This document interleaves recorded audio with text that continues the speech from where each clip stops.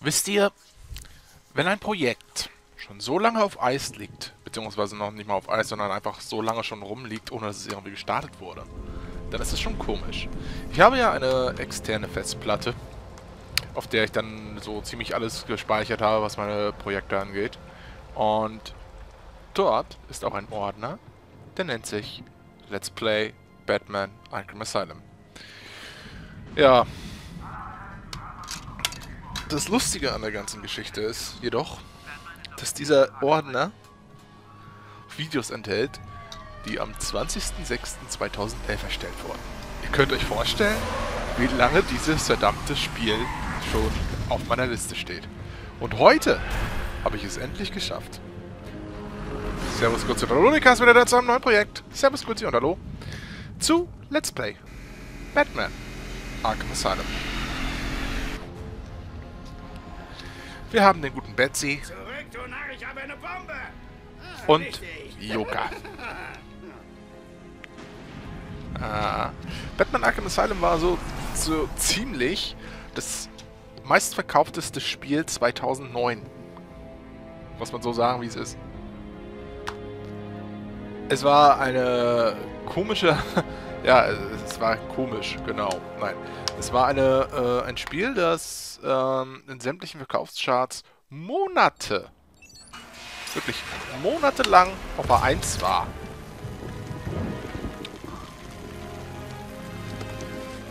Und das nicht zu Unrecht.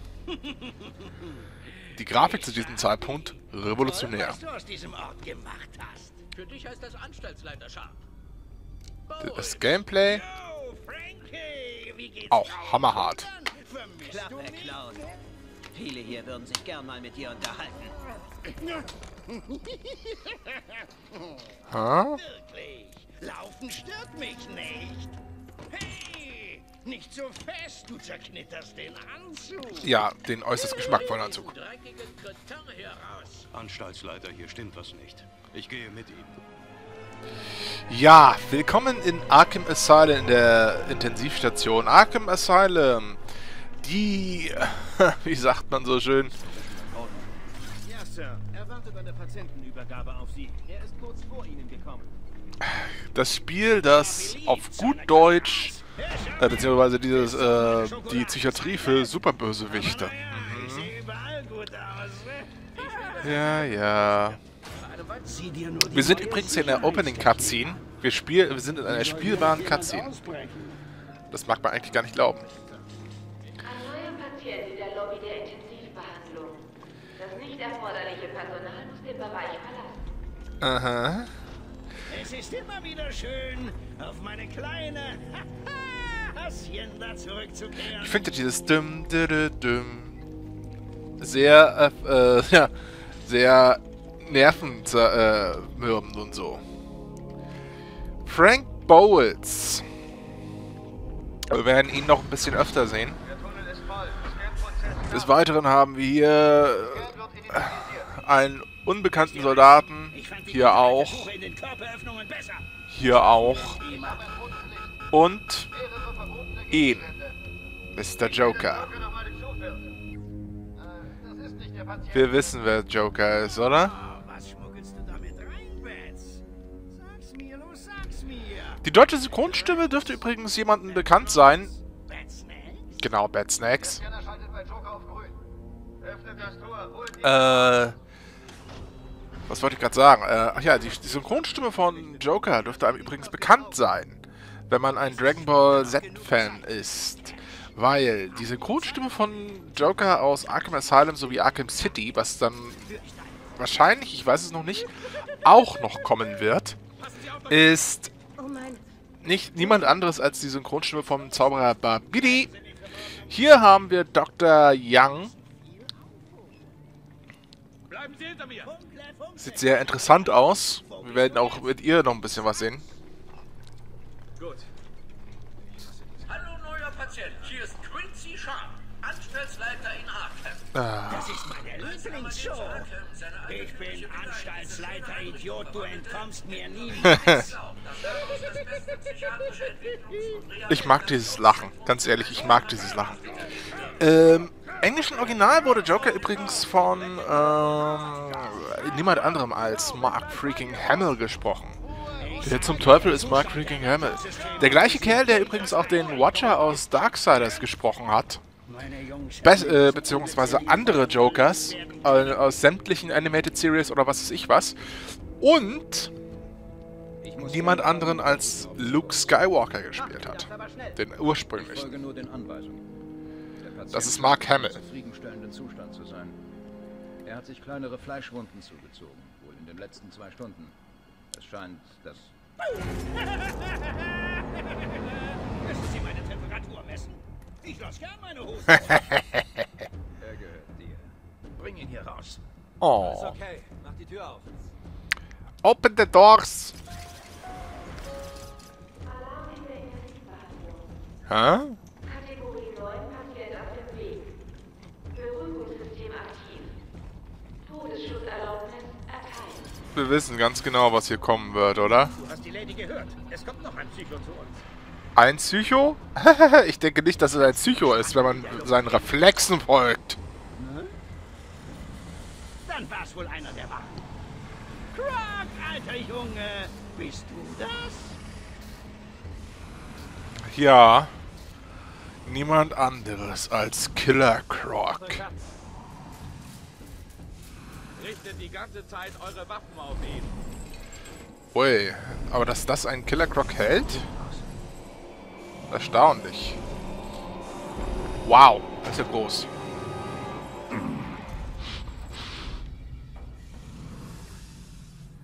Hi. Ich wittere dich, Batman. Ich bringe dich zur. Ja, Killer Croc. Oh oh. Das Ding hier raus. Sofort. hält mich nicht davon ab, dich zu töten, Batman. Ich reiß dich in Stücke, ess deine Knochen. Da bin ich ja mal sowas von froh, dass der hier eingesperrt ist und wir ihn nicht irgendwie großartig äh, und ihn nicht irgendwie großartig bekämpfen müssen. Da bin ich ja sowas von froh. ich und meine verdammte, mein verdammter Optimismus. Wie ist Batman an der Sicherheitskontrolle vorbeigekommen? Hui. Tolle Nacht für eine Party. Aber die Schuhe braucht er eigentlich nicht. Ich kann mir nicht helfen, aber irgendwie sieht Joker verdammt sauber aus und anhand dessen, dass er jetzt hier gerade irgendwie von äh, Batman festgenommen wurde. Naja, relativ. Dazu geführt hat, dass hunderte von meinen Leuten hierher verlegt wurden. Hatte ich dir nicht gesagt, dass du still sein sollst? Oh, Frankie. Du solltest wirklich lernen, dein fettes Maul zu halten. Das bringt dich noch in Schwierigkeiten. Aha. Sag mir eins. Du würdest niemals zulassen, dass ich dich so leicht schnappe. Was willst du wirklich? Oh, Was auch sehr interessant ist, das ist man äh, überall, äh, dass man hier sogar die Bartstoppeln sieht, weil zu dem Zeitpunkt, wo das Spiel rausgekommen ist, war die äh, war diese Animation sehr aufwendig. Man möge sich auch mal äh, den Neoprenanzug angucken, wo man sogar noch die kleinen Poren sehen kann. Also es ist generell sehr detailreich gehandhabt. Man möge auch mal hier... Ja, verdammt. Was macht er? Bleib, wo du bist. Holt eine Taschenlampe, strahlt ihn an. Hey, Anwesenheit in unserer Anstalt ist Nur kurz. Was? Vertraust du mir nicht? Als ob man Joker vertrauen könnte. als ob. Die unteren Stockwerke der Intensivbehandlung sind jetzt auf Alpha Rot. Schusserlaubnis erteilt. Du bist also zurück. Du hast drei von meinen Jungs getötet, als du hier ausgebrochen bist. Drei? Ja. Drei? Ich werde mich sicher das nächste Mal mehr anstrengen. Wie wär's? Wir könnten 100 versuchen. Ah, Joker mit seinen verdammten Witzen, ey. Unglaubliche Scheiße, aber er wird Witze machen. Lange Nacht, Jim. Joker überfällt das Rathaus, nimmt den Bürgermeister als Geisel und überlässt es mir, mich mit den Spezialkommandos, den Medien und dir rumzuschlagen. Ja, das war eine höllische Nacht. Hoffentlich die letzte, die wir jemals mit ihm hatten. Das sieht nicht gut aus. Moment. Tut mir leid, Batman. Nur für Arkham-Personal. Ich versichere Ihnen, wenn jemand qualifiziert ist, dann... Ich danke Ihnen für die Unterstützung. Aber das würde die gewalttätigeren Patienten aufstacheln. Oh. Ich glaube, er spricht über dich, Vance. Fühl dich nicht wie ein Fremder. Du bist hier immer willkommen. Mann, Nee, ich- ich muss sagen, es ist gut, wieder hier zu sein. Irgendwie habe ich ein dummes Gefühl bei der Sache. Gut. Er hat fast ohne Kampf aufgegeben. Das gefällt mir nicht. Wenigstens ist er wieder da, wo er hingehört.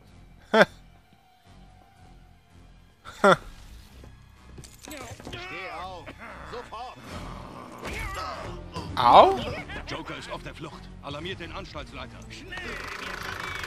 Das war mein Controller. Und tot. Der Schatz geht auf deine Kosten. Aha. Liebling, ich bin zu Hause. Komm rein. Ja, ja. Harley Quinn ist auch wieder da. Dr. Harley Quinzel. Ehemals. Ah. Jetzt lass die Party beginnen. Lass die Party beginnen. Meine Damen und Herren, Gucken wir den mal. Das ist übrigens der Detektivmodus. Und wir haben hier auch noch sowas wie, äh, ja. Bam! Das muss wehgetan haben.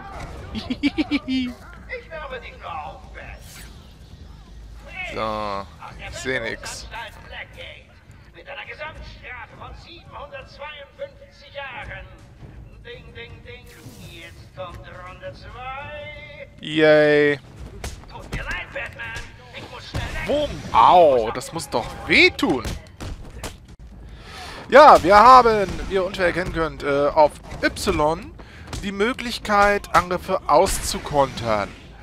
X hingegen ist das normale Schlagen. B ist ein kleiner, ja, ich sag jetzt mal Verteidigungsangriff. Au, das muss wehgetan haben. Autsch.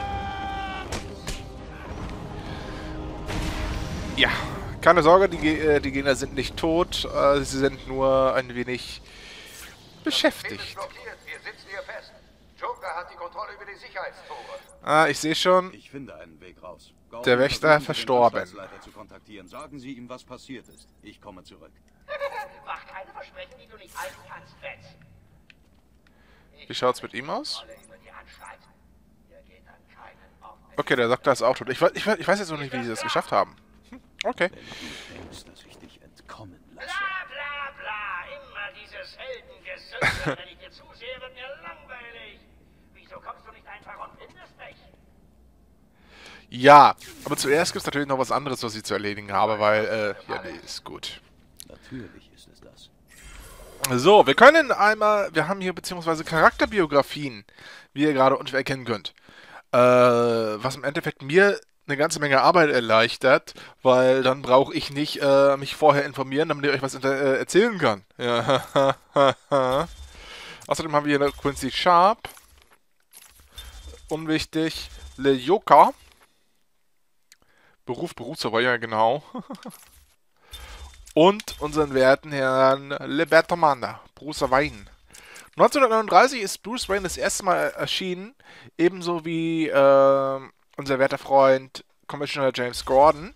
Allerdings, was ich persönlich interessant finde, Batman Nummer 1, äh, Joker gab es erst seit dem ersten Batman-Comic. Er ist zwar nach wie vor der älteste äh, Bösewicht, den äh, Batman äh, überhaupt hat. Allerdings muss man dazu gestehen, er war wahrscheinlich nicht der erste. Dies ist eine sogenannte Riddler-Trophäe von Edward Nigema. Mhm. Äh, beziehungsweise Eddie Nashton. Die Sache ist, er erschien erstmal so frei nach dem Motto neun Jahre nach dem ersten Auftauchen von Batman, beziehungsweise acht Jahre nach Nummer 1. Und äh, ja, ich sage jetzt mal, sein Job ist es einfach nur, irgendwelche Rätsel zu stellen. In diesem Spiel hingegen ist er paradoxerweise auf unserer Seite, weil seine Rätseltrophäen, das im Endeffekt, was er äh, uns ja die ganze Zeit vorhält, äh, dafür sorgen, dass wir Erfahrung kriegen. Dazu später mehr. Außerdem muss man berücksichtigen, wir können, wie ich euch jetzt gesagt habe, mit X angreifen. Y können wir countern. B ist so ein kleiner Betäubungsangriff. Und dann haben wir den A-Button. Normal macht der A-Button nichts, wie ihr unschwer erkennen könnt. Allerdings, wenn wir lau äh, beim Laufen A drücken, legen wir einen Sprint ein, beziehungsweise laufen ein bisschen schneller. Ebenso, wenn wir zweimal A antippen, können wir springen. Wir haben ebenso den rechten Taster, ich spiele die äh, PC-Version logischerweise, mit der wir ducken, uns ducken können. Was war das? Was war das? Und ebenso können wir uns an Ecken verstecken. Oh, das war nicht geplant. Der linke Taster, wenn wir den drücken, können wir unseren Batarang, beziehungsweise unsere ausgewählte Waffe, wie ihr unschwer erkennen könnt, äh, habe ich noch acht, äh, acht Slots, halt, waren das acht? Drei, sechs, sieben Slots mehr, können wir unsere ausgehaltene Waffe nutzen. Mit dem rechten Taster dann entsprechend werfen. Ebenso können wir einmal ganz schnell antippen für einen, äh, für einen normalen Angriff. Linker Button, Detektivmodus. Wird später noch von Bedeutung sein. Rechter Button wird später von Bedeutung sein. Beziehungsweise werden wir dann später nochmal so ein bisschen äh, genauer erklärt haben. Dies sind kleine Zähnchen. Die Zähne sind Überall, interessant. Da vorne haben wir Alle äh, Patienten sollten ihre Medikamente jeden Tag zu den verschriebenen Zeiten nehmen.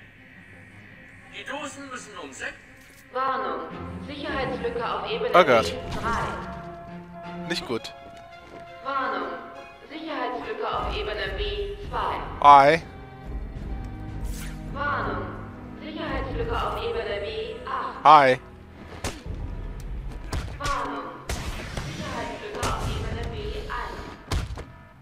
Yay.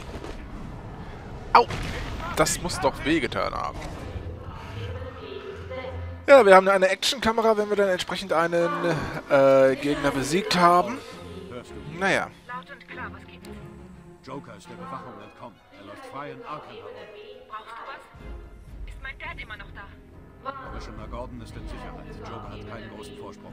Ich melde mich. Des Weiteren haben wir Barbara Gordon. Oracle. Barbara Gordon war das erste Batgirl in dem Sinne. Wurde dann aber durch einen Schuss ins Rückenmark von äh, Joker lebensbedrohlich verletzt, hat es knapp überlebt und ist seither an einen Rollstuhl gefesselt. Seither ist sie, äh, arbeitet sie mit Batman äh, nach wie vor zusammen. Allerdings äh, muss man dazu gestehen, dass sie ähm, eigentlich mehr so sein Informationsvögelchen ist. Sie hackt sich überall rein und und und und. Naja. Hi. Äh, Was ist passiert? Joker ist passiert. Du hast Glück, dass du noch lebst. Er Aha. muss da lang gegangen sein. Die Tür klemmt. Ich versuche sie zu öffnen. Wir brauchen bei der Ruhigstellung Hilfe. Ich wiederhole, wir brauchen Hilfe beim Ruhigstellen. Hört das jemand? Können Sie mich hören? Ich bin bei Batman. Hallo? Wo sind sie? Brauchen Sie da unten Hilfe? Nein, ich arbeite besser allein. Sass ist frei. Oh Gott, Oh. er hat Mike. Nicht gut. Franklin, kannst du mich hören? Falls du mich hörst, Hilfe ist unterwegs. Die Sache ist, die Dialoge sehen zwar ein bisschen blöder aus äh, mit den Wachen, aber keine Sorge, es wird später noch um einiges besser. Obwohl es nicht wirklich schwer ist. Und um... um äh, bäh,